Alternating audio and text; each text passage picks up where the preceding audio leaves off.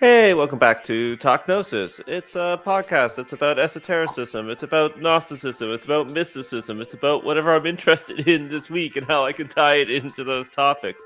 Uh, we're welcoming back to the show uh, Michael Osbourne. Hello, Michael. Uh, really, really happy to uh, to to have you here. Uh, I've really become a, a fan of your of your work and uh, we're going to be talking about a, a very uh, fascinating, interesting uh, book that you wrote. That's that's a little bit hard to to describe, and uh, I think we're going to. I, I, think people are going to really get a lot a, a, lot out of our conversation. Though it's going to be a it's going to be a conversation that uh, is is as twisting and as turning as uh, as, as a snake going through its its burrows in the ground. But we, are talking about your your book, the the Brazen Serpent, Chaos and Order, and working through uh, some of the many uh, interconnected ideas uh, before we we hit record. I, I was trying to explain just uh, how the the book flows. It's it's like many rivers uh, crossing each other and then running into the ocean. So uh, a lot of a lot of symbols, a lot of ideas, and maybe we can just maybe we can just get into it. So, what is this book? What inspired it? And what did you set out to achieve when you were writing it? Yeah, um, big questions from the get go, but hey, um, okay. So for a number of years, like everybody, I've had competing ideas and thoughts flowing through my mind, a bit like the river you mentioned. And I wanted to bring a lot of them together. And for some time, there's been I've had a um, a lot of synchronicity in in my life now, whatever the root cause of that might be, it tended to sort of focus around um, numbers in particular. Well, you know, when you have these sorts of experiences, because some of them can be really quite sort of either unsettling or or or, or numinous actually sometimes you, you you start to sort of research around around what it could be so um, I, I, I ended up literally reading around an incredibly wide ranging area of people, everyone from William S. Burroughs through to Jung. Um, and then, of course, looking for, for numbers and, and everything else within esoterica, but also in, in, in um, Orthodox religion too. And it's quite remarkable um, how prevalent all of this is. So yeah. Okay. So the the idea really was then to uh, to try and draw all these things together, and in the book itself, I mean, we're talking um, at one point about Pythagoras, and then we go on to sacred geometry and and and all sorts of things, and of course serpent worship in in ancient Egypt, amongst many other things. Now, the serpent point um, came about because for some time I've always been intrigued by that passage in the Gospel of John, where Nicodemus, who's the sort of archetypal um, aspirant, if you like, he he he's well read around theology. He knows his stuff, doesn't he? As a former high priest, I, I suspect, and things of that nature. But he's he's seeking Christ out in the dead of night. Well, there's a lot of metaphors for that obviously there's the ultimate one that he doesn't want to be spotted because he's going to get sort of linked in with with with uh, uh, the, bad things that are about to go down, of which he's fully aware, I'm sure. Um, but also, it's a metaphor for the dark night of the soul, isn't it? And we've all been there. We're either in it, been through it, going to go through it, but it's going to happen. And this man Nicodemus is a type, if you like. Well, he approaches Christ, and and of course, you know, the question is um, are you are you the Messiah, the the, the expected one? Um, and Jesus goes on to talk about being born again, and of course Nicodemus is is befuddled by that. But the express point raised by, raised by Christ is that just as the Nehushtan was raised by Moses in the desert, or rather the raised brazen serpent was raised in the desert, so shall the Son of Man. And that was something that always, always puzzled me because the the reference to the the brazen serpent in in um, in the Old Testament is fleeting, and yet here we have this quite remarkable statement, putting it foremost in Nicodemus's mind. If you don't mind me interrupting for a sec, yeah. uh, what I'll say is, is both incidences are, are, are weird right? And they, I think they grab the imagination because the, the original narrative in Moses, which we'll talk about, it's it's very st- strange and mm. uh, it's fleeting, and then it's gone, and then again when Jesus brings it up, the, the context is is kind of bizarre, right? Because he's as I mean, just to set it like you're saying, it's the middle of the night. He's talking about being born again, and then suddenly he's he's comparing himself to this brazen serpent, this bronze serpent that that's being put up in a pole, and it's like what's yeah. what's going on? So I could see how how that could. I, I think that that sticks in perhaps many people's minds. Yeah. Uh, if, if it doesn't become an obsession, if it doesn't pop up again, I think a lot of people pause for a moment uh, with both stories and say, "Wait, what? What's going yeah, on here?" Because you know, you know, I mean, it, it's one thing reading about um, serpent mythology in, in other religions, but but when when Christ identifies himself with a serpent, yeah. it's something quite different for those of us from from that Western tradition. So it, it is it is enthralling, and and and of course, then if you if you think about the other things that get your mind working, like this sprawling river, or more accurately, I think like a delta. I think you've got lots of branches going off. Something has to bring it all together, and so what I chose to do was to focus on that specifically and then to bring in other things. And um, and what I found, of course, in doing this was that the the the raised brazen serpent, the Nehushtan, is um, is a metaphor really for the divine code in nature, which is exactly what Christ is talking about. And Nicodemus would have understood that.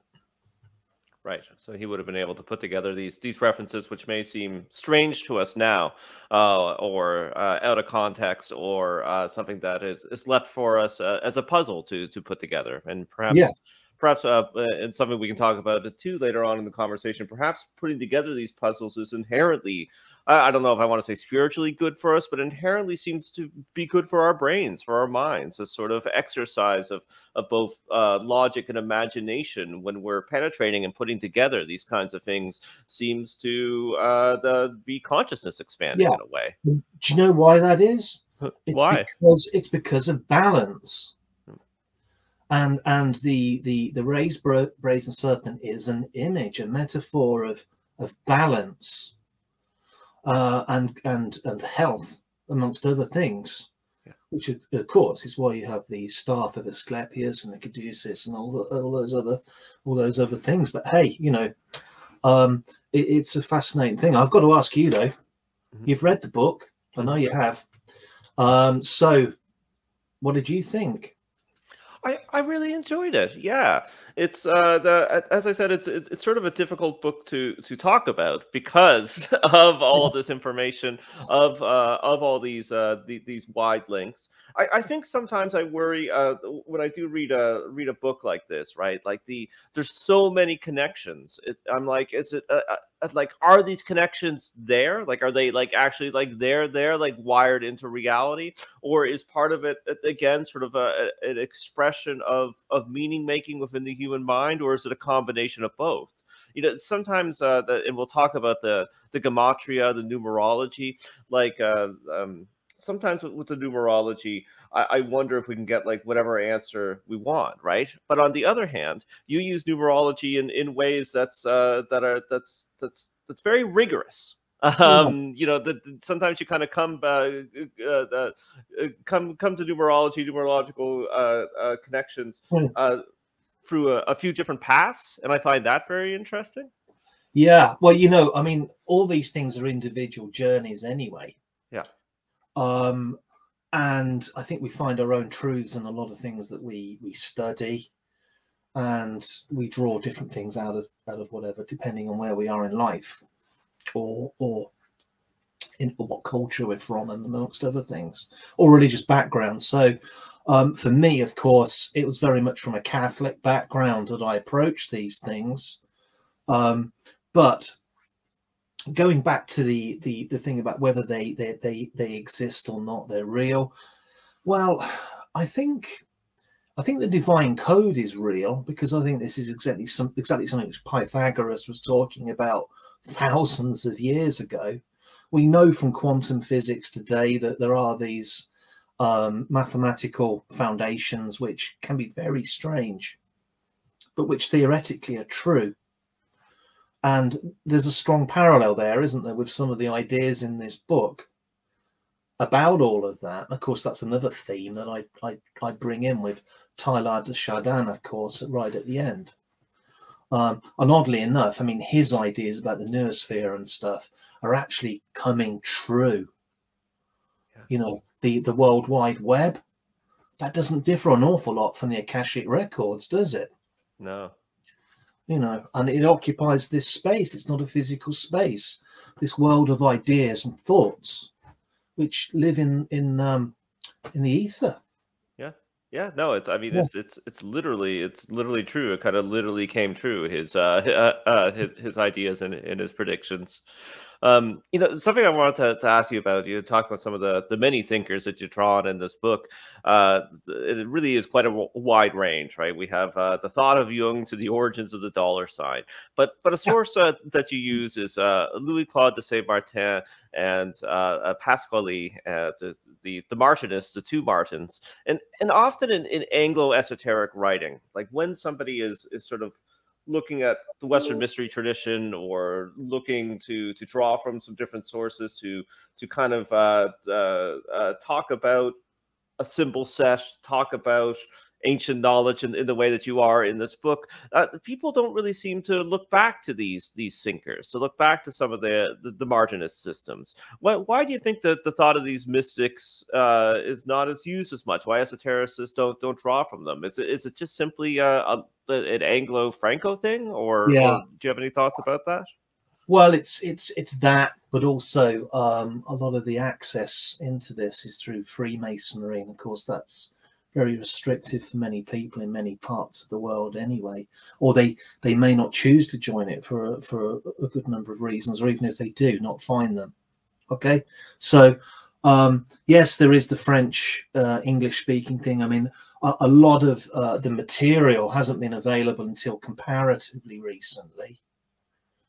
Um, and as i've i've discovered um, you know there are there are other there are other hunters on the same block as far as coming out with these things are concerned, and there's some there's some crossing of paths, I'm afraid. But um, the main thing is that it was occult knowledge. It was hidden. It was for adepts uh, for the most part. Now, I suppose Saint Martin was publishing stuff that people could have read, but he couldn't share everything in that work. And besides which, it wasn't printed in English, was it? Yeah. Uh, and it will be difficult to actually pick up this stuff and run with it from scratch anyway. You need to build.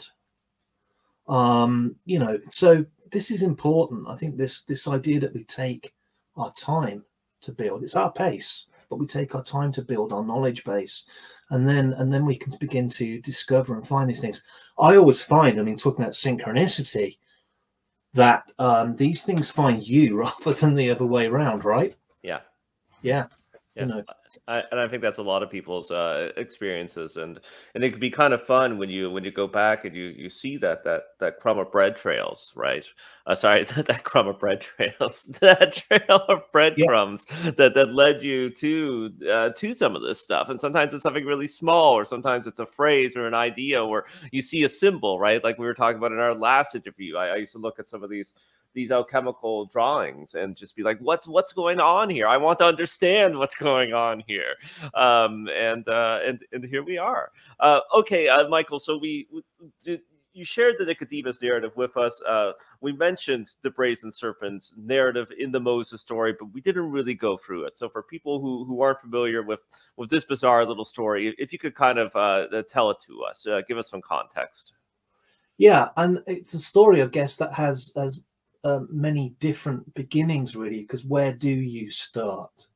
Do you start with um, the Sumerians and the Asherah poles, um, the worship of the um, of um, uh, the the sacred snake in Sumerian religion, or do you look at the later Egyptian influences, Apep, for instance, and the Uri and things of that nature, where you have this again, I mean, the thing is with the Sumerians, the snake symbol was about fertility, fecundity, but also snakes are dangerous as well, you know. Um, and in and in Egypt, you have Apep, who is a tormentor of, of men, and then you have um, the Uri, which is the protector. Um, so there's this duality, and of course, um, the Hebrews. Um, I mean, whether or not Moses existed, whether or not um, the Hebrews were slaves that escaped from Egypt. I mean, archaeology um, is um, still ascertaining these things, but it doesn't matter because it's what the story tells you that counts, right? So Moses, um, in if he existed, in all likelihood, grew up within the Egyptian context. Now, when he escaped and found himself in the Sinai, of course, there was this epiphany in front of the burning bush. Uh, and I refer to that quite a lot because there's a direct parallel between the burning bush and the Nehushtan. And that's something, again, that Jesus is making clear to Nicodemus. Okay. So the casual reader of the Bible wouldn't necessarily draw those links together. What happens at the burning bush is that God manifests um, through an angelic being um, um, a bright flame that doesn't burn. This is the, the materia, the substance of divinity. God communicates his voice through this being, this entity, who says to Moses, Moses wanders over to it actually in the narrative. Um, I guess he's curious. Um, and it, it, it, tells him to free the people. Well, of course, I mean, one man going against the, the might of Egypt is a bit like telling you, John, to to go and uh, take on the United States, really, isn't it? And bring all the Canadians out. Okay, so Moses says, Well, I'm not doing that. You can forget that. And God then invites him, of course, to um, throw his staff, his shepherd's crook, on the on the ground, and it transforms into a serpent. But the main thing about it is God then says to him, pick it up, and that's the corresponding part of it. And then it resumes into a staff, and with this staff you will bring my people back. So he has there um, a magician's stave, a, an instrument that contains within it this serpent, but symbolically, of course, it's the power of God to retrieve the people and to take on Egyptian religion, because of course that's what's happening. Um, he goes to Egypt. This isn't a metaphor. This isn't a language the Egyptians would understand because for them, um, true, the serpent protects the people, but Apep is a sort of um, almost like a sort of satanic figure that torments them um, after death. It tries to bring them um, away from their reintegration. So we have it right. Sorry to interrupt. So, so yeah. we have it right there in the staff because, of course, the shepherd's staff is is is for protection, right? It's it's for guiding the it's for guiding the sheep, but it's also for fighting off attackers. So, yeah. uh, and and a staff is is a protective uh, instrument. Uh, uh, uh, uh period, and on many levels. Turns, on many levels, and it turns yeah. into a snake. So it's uh, yeah. it's like right there, just with this this introduction to this symbol, we already kind of have this this duality, right? But of, what is this staff, though? Really, because if it's if it somehow it contains the, the, the presence of God, which is the implication of the burning bush. God is present, and the staff somehow is connected with it. It's like a portable temple that Moses is carrying around, a portable holy of holies, essentially. Um, and of course, there is this competition then between uh, the two forms of, of magic, for want of a better word. And um, God ultimately triumphs, and Moses is using this staff then to part the Red Sea. Okay, so this great passage between these two contrasting pillars of water. And what happens? The Egyptians, of course, are subsumed in it, and and, and the, the Hebrews survive, but they fall away. Um, they're tempted by um, the, you know the various demons and within themselves, as well as perhaps um, within um, uh, the, the, whole metaphysical structure of what was going on, and they have their 40 year wanderings. But of course, in front of them all the time were these twin pillars of, of um, cloud and fire, again, the contrast night and day, fire, water, because cloud, of course, is manifestation of vapor, and the staff of Moses. Now, the thing about the two pillars of fire and cloud is that they're really one and the same thing. If you read the, the biblical narrative correctly and carefully, you'll see actually it, it shifts. So it depends where you are, um, but you have that protection um, in that. Now then, um, it's at the um, um, waters of Meribah incident, of course, where um, a lot of these things come to a head. So the Hebrews are traversing around the, the borders of the kingdom of Edom itself, perhaps a metaphor for something evil in, in some in some um, traditions. So that's one point. There they are, and they're grumbling about their lack of food, water, and resources, and they're saying to Moses, "Would have been better off back working for the other guys. If this is freedom, it sucks." I'd rather have slavery, you know, and have food on my plate and, and a job, you know. So this is where they're coming from. And to punish them, God sends fiery serpents, these seraphim, these these um, serpents, to strike at the heels of the Hebrews, and the the the, the venom is poisonous, and they they fall sick and die. And eventually they come to Moses and they say, um, Save us from this. We're so sorry.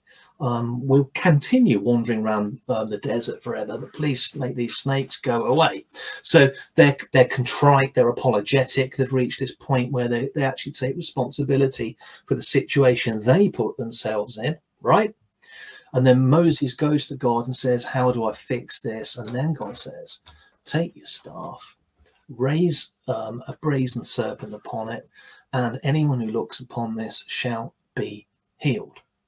Imminent within, of course, this brazen serpent and staff, this combination of the staff and the serpent, a bit like your dollar sign, okay, is this healing ability. People look upon it with faith and in um, uh, the, the um, uh, it, with a sense of um, of contrition and they're healed, and those that don't aren't.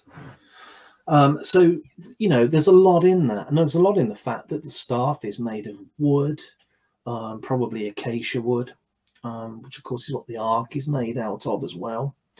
Um, and also the fact that the brazen serpent itself is made from bronze, so it shines in the dark and it's visible during the day. So it's a metaphor as well of the two pillars of fire and cloud in this one thing, and it's healing. Now, it's not the first serpent on a pole that was a healing image.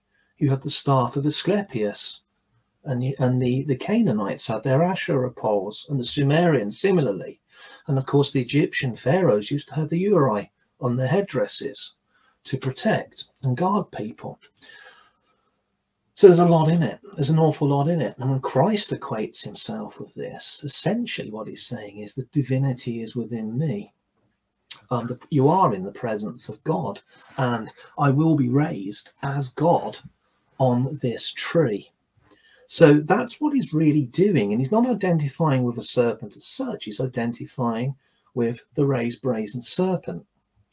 Now, there was a tradition in ancient uh, Israel um, before Hezekiah came along, because that was one of your other questions about King Hezekiah.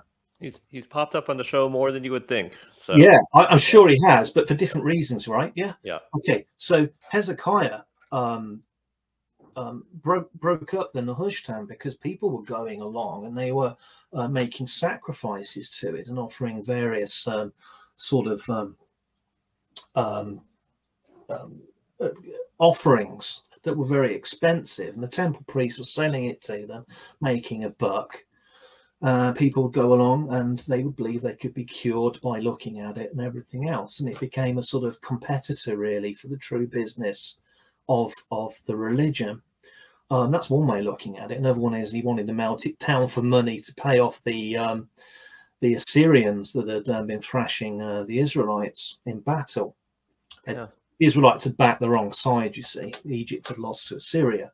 So um, Hezekiah, in any event, destroys it and breaks it up. But the memory, the folk memory, the collective memory of this of this um, icon was very present in the Jewish mind, and they viewed it more positively than he did, as a symbol of salvation, hope, of healing, really, and God's protection amongst uh, the, the various difficulties they faced. And again, that's another metaphor for the ministry of Christ. Yeah. Yeah, we, we've talked about him on the show before because there's uh, a couple different theories about, about he, he was basically making the, the Hebraic religion at the time less mystical. So he was uh, uh, getting rid of the divine feminine, he was getting rid of uh, more mystical aspects of the religion and making it more of a religion uh, uh, based around the royal cult about himself, about top down authority. So if the if the brazen serpent has all of this this mystical meaning, if it has uh, all of these these very uh, uh, uh, Uh, uh, uh, deep meanings. perhaps that could be another reason that he he did want to get rid of it. So yeah, yeah as, as part of this part of this process. Um, well, you know, iconoclasm is a social phenomenon, isn't it? It happens every now and then. Yeah. Yes, it, it sure does. It, it, seems to be almost uh, something uh, that's very human, almost programmed into humans. Uh, we have our uh, every couple generations, we have an iconoclastic uh, breakout. Yeah. What did you do when you saw one of the kids' sandcastle on the beach? yeah. precisely, precisely. So uh, I'm sure some people uh, uh, caught something interesting when you were talking about the, these fiery serpents, which is you called them seraphim, um, and that, of course, is also the name for for a class of angels. Uh, the uh, uh, and I'm sure some people were like, "Well, wait a minute, isn't that the mm. same word for for a kind of angel? Or are they just similar words? Or they just sound alike? Or or did I hear? Maybe I heard Michael incorrectly. So can you can you tell us? And of course, this is part of what this book is all about. This would this would take the next hour, but if you could tell us a bit, well, it about, would. Yeah. would. Why? you know, I mean, about okay. what angels have to do with snakes. Okay, yeah. I mean, the etymology of the word is quite is quite diverse anyway. Yeah. And it's not always clear if you're talking about the same seraph, seraphim as you are as other people uh, in other religious contexts. So I mean that needs to be to be understood. Um, now, what it comes down to is whether they were physical snakes, because there is a, a, as I mentioned in, in the book, a type of snake called the red spitting cobra, which um, only comes out at night and only attacks people when they tread on it, which might be the origins of the story. We just don't know. Uh, but conversely, the, the, the fiery serpents are not necessarily necessarily snakes at all. They could be supernatural entities that that torment the people, doing either God's work or or the work of the other guy. Um, so this is the this is the the the the the, the conversation really about that um, and of course of the nature of people's relationship with with God. The point of it all, though, is whether it is supernatural or natural, is that people had to be brought back, and the only way they could be was through suffering and going through the dark night of the soul in order to re-establish a true understanding and relationship with God, which was based on mutual love, which is what looking upon this raised brazen serpent is. Okay they'd have been wandering around for more than 40 years without it. I mean, this is the other thing. So um, it needed to be done. Um, the seraph, seraphim, well, you know, I mean, it, are, are, they are they a metaphor for God's presence in in in in in the world, in the material world? One of the images, one of the many images I put up, is Papus's tarot card. Mm-hmm. Oh, it's hard to find the lens properly um, with this. So as you can see, I mean, the idea really was to look at the tower card, not so much as entirely negative, but to actually see it as um, a hope, really, some hope in there that God is present through these difficulties and traumas. It's actually physically or spiritually a part of of us. And you'll notice actually, I mean, even from the image, that it's in the shape of a lightning bolt or indeed a serpent, which is the whole point. And you know what really grabbed my ima- uh, imagination, I don't know about you, was the parallels with North American religions with whom there was no contact. Yeah, yeah, Yeah. yeah, yeah, like the Aztec, Aztec snake mythology. for Kettle sure. and all that sort of stuff. I mean, this is the thing, you know. Um, and, and I'm sure you could go further east and, and have something. I think there are the Nagas in India, aren't there? Yep, Yeah, yep, exactly. and Um, in Tibet, yep. sure. Um, so there's lots in it. Um, and I, I guess, I mean, the thing is, I mean, I do unashamedly approach it as a, a Christian and a Martinist. So this is this is where I'm coming from. But it wasn't originally. It's just something that is is part of the journey, and and all these ideas are locked in there. But what I wanted to talk about most was the the synchronicity, the catalyst, really. Um, do you have any particular affinity with numbers at all, or, or anything similar? Words, numbers, images. Yeah, I I think uh, for me less less numbers, but uh, definitely uh, synchronicities that uh, that pop up for me.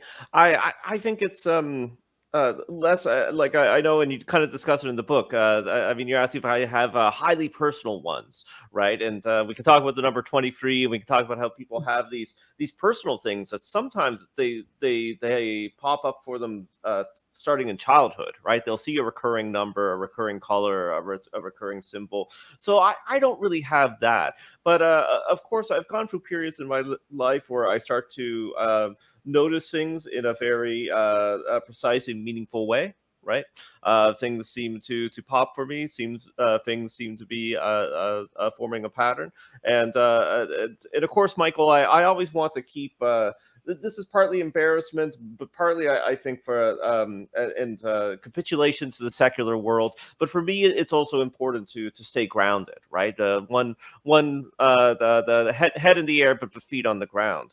So I always do uh, stay personally, just for me. I'm, I'm not saying for other people. Uh, I'm always a, a little bit careful uh, when I'm when I'm hunting for synchronicities um, or when I start to see them because is uh, uh, is it is it my mind selecting these things? Does it actually have meaning?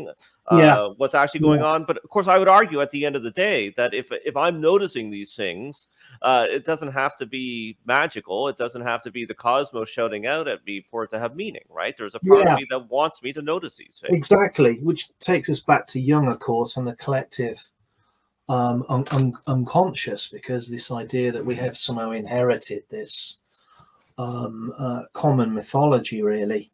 Um, and, and that there may well, I mean, the thing about the sci- scientific explanations are, but I do mention in my book some things are not so easily explainable. And there are plenty of people, of course, who have had similar experiences. William S. Burroughs, for instance, and um, Robert Anton Wilson. I mean, th- these are these are these are things that happen. I mean, for me, I mean, I had the number twenty three, but the really weird thing is when you when you you go back, you look at documents or photos or memories from years ago, long before you were even aware of this, and that damn number is cropping up, and you didn't re- realize it at the time. You know, so that again is is rather odd. Um, I mean, there is a 23 thing.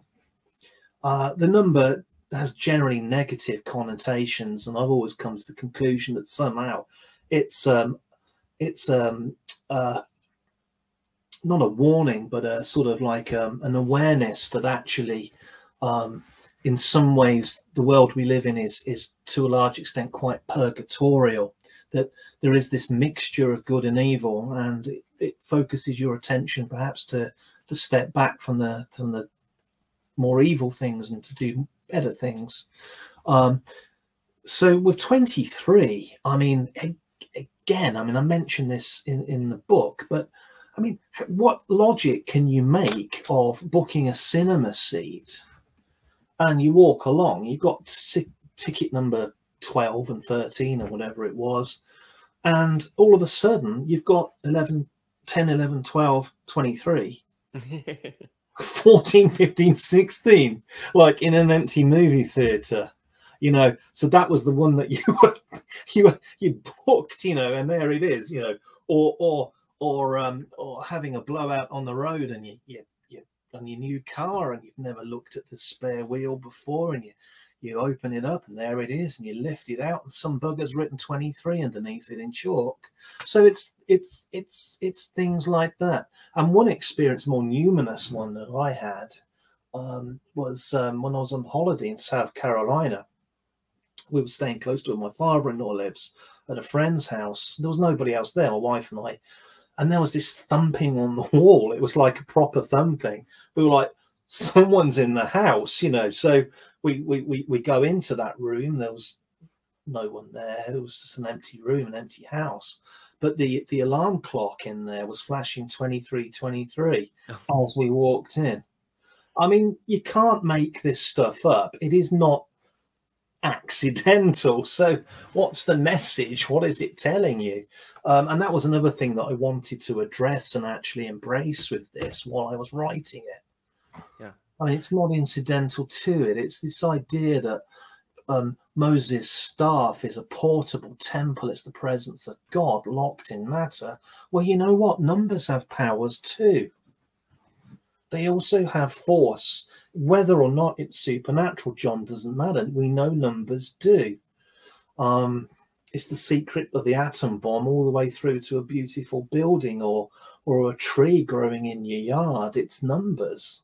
Yeah, yeah I, mm. sometimes I, I kind of think of the some of these ancient Kabbalistic perspectives, right? That reality is made up of letters and numbers, and then you look at sort of modern science, and well, okay, I, I can use mathematics to say that uh, to describe all of reality in a way, right? So is reality made out of numbers? And then some scientists talk about, well, actually, in, in a mysterious way, reality is kind of made out of information. Isn't that kind of similar to what the, the Kabbalists were saying about reality being made out of the alphabet?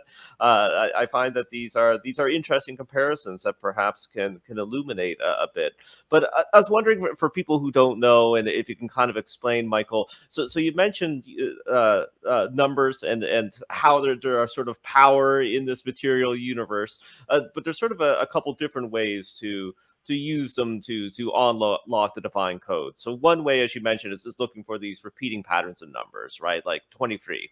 Um, another way is is, is kind of uh, um, assigning these meanings to numbers, but also discovering numbers through uh, sort of interesting means through through gematria, which is sometimes, hey, there isn't a number here, but there's a way to discover a number and then get more meaning. So I'm, I'm wondering if you can kind of tell us a bit about these these processes. If you can tell us for people out there who don't know what gematria, gematria, however however you say it is. If you can, well, uh, again, uh, need an hour for that, and, and I think probably the Hebraist, which I'm not. Yeah, but I do know that words are obviously human constructions. Yeah, and indeed, the names we give to numbers are, and the symbols we give numbers are human constructions. Um, the Romans had different symbols to the Arabs, and and you know the the Vikings had different still, and it's one of those things. So words are human constructs. The images, the symbols for numbers are, but numbers actually exist, and the gematria is saying, well, you know, there is a word made from Hebrew, um, which um, um, they would argue is the, the language of God. You know, it's Hebrew. It, the, the letters are images just as much as they are sounds to make words. But there's also a numerical equivalent to them as well. That's not the only gematria because the Greeks had it, and I'm sure there's a Latin one too. Yeah. Um, and of course, numerology um, applies um, similar uh, principles, doesn't it, to uh, to to to numbers as well. So the idea really is that there's this universal language in numbers. It's a bit like Close Encounters, isn't it, where they play that tune to encourage this mothership to come over that volcano. Um, it, it's something that is is pretty basic. I'm sure if you went anywhere in the world, even if you discovered a tribe in the Amazon and you wanted one fruit, right, from you wanted to buy one fruit, you'd just do that, and they'd understand what you meant, right? Yeah, absolutely. So, um, if there's a code, if God is somehow locked or the spirit spirit is somehow trapped within us, um, in the same way that perhaps the synapses of our brain might be eternal mind that is somehow locked in the physical organ for the duration of our lives before it's released, okay? Or, or the world itself it, it somehow contains something of God, then the way to to begin to un, unlock that or understand it understand it surely has to be through number. Um, now number isn't the end it's just the means to try and get to that point okay? So in the i mean if you think about the um, the the actual figure of the Nehushtan, you, you have a, a serpent but it represents two things. And you have the staff, which is a piece of wood, material thing, but it also has innate within it the the the power of God. If you remember the burning bush, so it has it already has a sort of numerical um, power or or existence of its own, just as a symbol. And I think symbols have that power; they have that ability. Yeah. Um, I, there's a specific symbol I want to ask you about uh, because I want to give some some sort of uh, examples that people could really grab onto and kind of fuel their imagination. But before we do that, I'm just going to quickly do our commercial for our Patreon, which is patreon.com slash Gnostic. Uh, we need your financial help to do the show. You can donate for as little as a dollar per piece of media per month. You can put a cap on that too. If you're scared, we'll do a million pieces of media. We usually do uh, four to six. Uh, we try to do more. Uh, we haven't lately, but we want to, we want to pick that up. Uh, and, and we don't charge for the extras. So you help create bonus content for everybody. And you get early access to the shows if you uh, help us out that way. You can also do one-time donations, paypal.me slash Gnostic. Uh, and you can help us out by telling people about the show, liking, sharing, subscribing, putting it on your social media, leaving us good reviews. And remember, we're out both on YouTube and as a podcast. Uh, so uh, listen and watch uh, in in whatever method you like best. Okay, so Michael, uh, something that's kind of fun in the book, uh, a uh, a symbol that you bring up is is the dollar sign. Can, can you tell us? Yeah. Can you tell us about about the dollar yeah. sign? Kind of why this is kind of a fun one about uh, about what it has to do with, with, what we're talking about. Yeah, well, I mean, I, I, sort of dedicate a small chapter to it, really, don't I? Um, yeah. It was pointed out to me. It's it's not something I've invented, but it's pointed out to me that the dollar um, could be interpreted as as um, a, a caduceus symbol. Well, of course, I mean the dollar symbol um, is the is the is the symbol for you know the most powerful economic empire in human history. So if there, if there's some magic or or or or force connected with the the imagery that attracts, if you like, um, economic success to America through the use of that symbol, then that may be one of the reasons it, it, it's on American currency. Now, the, the S could be interpreted as a, a serpent and the, the, the, the, bar or even the double bar actually even more significantly because, as I say, the twin pillars, um, the dollar sign could in fact be um, a sort of um, pictorial interpretation of, of um, the Nehushtan, the brazen serpent, or something older still.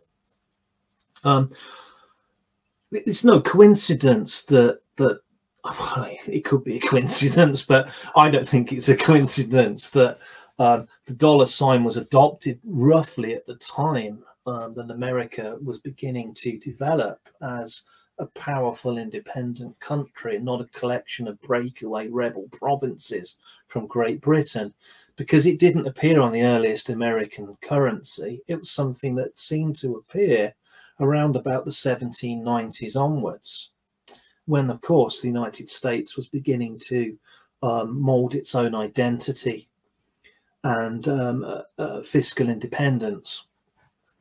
So, you know, we I have a bit of fun, like you, like you say, sort of talking about the Bretton Woods Accord and the creation of the State of Israel and and the um, numerological um, theories uh, surrounding that, which you know you don't have to accept them, but they're good fun reading, aren't they? Yeah, yeah, exactly, yeah. exactly. um, okay, uh, we had to examine that symbol, but, but coming back to maybe a specific uh, uh, example of gematria that's uh, that's quite relevant for your book. But can you tell us about how we can kind of connect the serpent and the messiah through through some letters and through some numbers if there's sort of a connection right there in in the biblical texts? Um i can't think of a, an example specifically offhand. I'm not sure i i necessarily singled one out in in the book. Um but I did um, look at the the significance of the number forty, for instance, and and its um, and it's various equivalent sort of words that are used in the scriptures.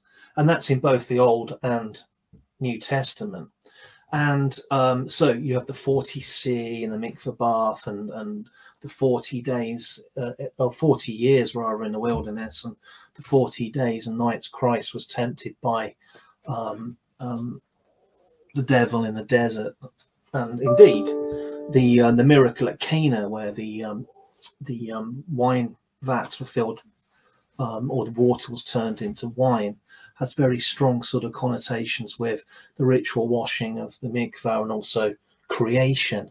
So the first few words of of the Bible are mirrored in that miracle, but you have to read it to really get to the, the, the nitty gritty of it. Um, but it's just an example, yeah, again of this of this um, code, if you like. That's a word, a human word, but this this evidence of God in our in our world, in our in our imperfect world, um, and then we have to make um, we have to form impressions and form opinions based on this imperfect revelation because it can't be any other, um, can it? Because of the way the way the material world exists. But yeah, so I mean, I do draw on those things, and I, I, I there is an emphasis, I suppose, more on the miracles in the Gospel of John, because there were specifically seven of them. You see, um, and they culminate with the raising of Lazarus. And so you've got that whole um, um, story um, beginning with the, um, the, the, the turning of the water into wine as the creation myth in a, in a miracle, all the way through to resurrection, the resurrection of the dead at the end. Yeah, I mean, every time I read John, it's uh, uh, it's constructed, you know, the, the Genesis stuff, right? Uh, the, the way that these these symbols uh, and the, the sevenfold construction keeps coming up in that book in in many clever ways, right? You yeah. just have this amazing echo chamber of, of, of, repeating symbols that's uh, yeah. that that can be so dense and so clever. Um, well, you know, Michael, we're actually we're at 46 minutes, and I feel like we did a really good job, like going through sort of the, the scaffolding of, of this book, of going through the major symbols, of preparing people to actually get to the theology of the book about what all of this means. So we were talking about doing this in two parts. Do we want to maybe maybe we'll stop now and uh, we'll do the second part and we'll get into what what the divine code actually is? I, I I mean, I, I, feel like now we've we sort of talked about how we discover the divine code. how, how do we unveil it? But uh, maybe we can uh, have a, have another discussion about what the divine code uh, actually is, what it's uh, trying to teach us, what we can learn from it, how we can grow, change, discover knowledge through embra- embracing some of these ideas. Yeah, yeah, yeah, yeah. And in the meantime, yeah, we've got time to order the book. That's right, exactly. So everybody can you can, you can read along, you can read yeah. the book, and or the uh, color version. Yes, or the color version, which is which is better still, because actually, um, with those with the color version, um, I actually have incorporated. It's quite again the imagery. It's all about imagery and the effect it has on your feelings. Yeah. Okay, because this is what what actually moves moves people. There's nothing else that does. But we have the um, Wenceslaus Hollar um, um, images yeah. um, from the um, Danse Macabre throughout the book. And they, they do help, I think, as well, because it's the sort of book that you can you can pick up and dip into a bit at a time, isn't it? You don't have to read the whole thing from beginning to end. Yeah, I, I, I, I would actually maybe maybe recommend that it, it is yeah. kind of a better like like yeah, uh, yeah that, that no, better way to read the deny it you know yeah. Uh, I'm, re- I'm really glad too that, that that you mentioned the importance of having the images in there because because again it's sort of a recurring theme on the show. It's already been a recurring theme talking to you. Is is I really think that that imagination beauty art like this is this is what whatever this stuff is is partly all about and yeah. that when we can awaken the parts of ourselves that love beauty that love art that uh, can really appreciate uh, a wonderful painting or a beautiful piece of music that that's that that is um, a spiritual fuel that that that that that, is a, a divinizing thing. Uh, the simple appreciation of art is is a way of bringing divinity into the world, if you ask me. So I'm really glad that you uh, incorporate that into your, I should say, books plural. So, um, Okay, so uh, I've been flashing it up on the screen, rosecirclebooks.com uh, slash publish books. I'll put that uh, that link in the uh, show notes, but of course, people can also go to Amazon. They can go wherever books are sold online, right, Michael? And then uh, yeah. Uh, type in Brazen Serpent Chaos in Order, and they can they can get a copy. But we will sure. link it, folks, so you can get it there. Okay, so everybody buy that book, read it so that you will know what we're talking about next time. Um, Okay, Michael, we'll be in touch soon, and uh, thanks so much. Thank you for having me. Bye.